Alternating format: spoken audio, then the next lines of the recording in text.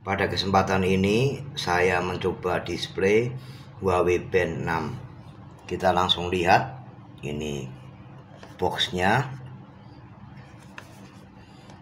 Barangnya ini bagus ya. Layarnya 1,47 inch Long life baterai Chargernya sudah magnetik. Saya buka. Memiliki garansi garansi dari Huawei.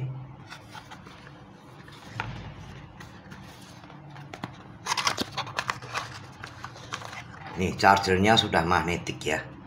Sudah magnetik. Dilengkapi dengan buku-buku petunjuk. Dan kebetulan saya beli pas flash sale. Saya dapat harga cukup murah ini 484.000 kartu garansi. Ini oke okay, barangnya. Ini saya tunjukkan. Ini barangnya. Layar 1,47 inch ya. Cukup besar di tangan. Lumayan tidak seperti sebelum-sebelumnya. Kecil-kecil. Tingkat stres banyak pilihan ketebalannya juga tidak terlalu tebal sekitar uh, antara 0,7 mili. Ini strapping bandnya. Dilengkapi sensor ya. Ini magnetik ya. Jadi kita tidak mungkin terbalik. Kalau kita ngecas tinggal nempelkan ini USB satunya ini kita tempelkan gini aja. Nah dia langsung ngecas keluar persentasenya.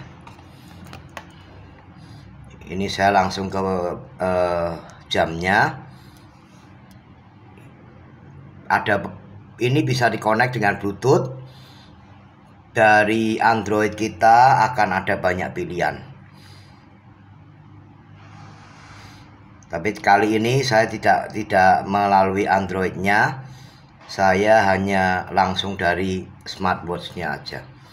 Intinya saya konsentrasi di smartwatchnya aja. Pencet pencet pertama kita ada pilihan olahraga. Olahraganya ini bermacam-macam.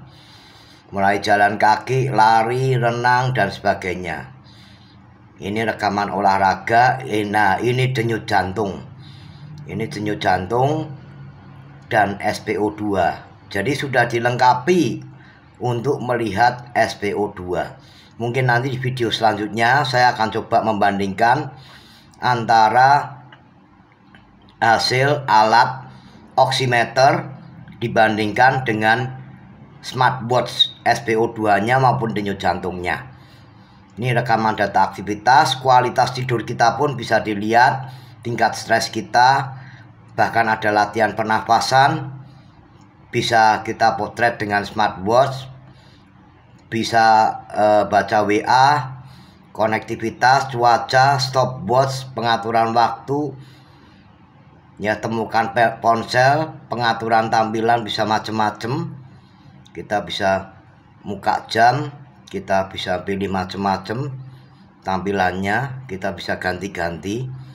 Ya bisa harus connect ya dengan Android kita supaya hasilnya maksimal. Ya, bagus cukup murah ekonomis dan saya kira smartwatch ini sangat bermanfaat bagi yang gemar olahraga maupun di saat pandemi covid saat ini. Sekian terima kasih semoga bermanfaat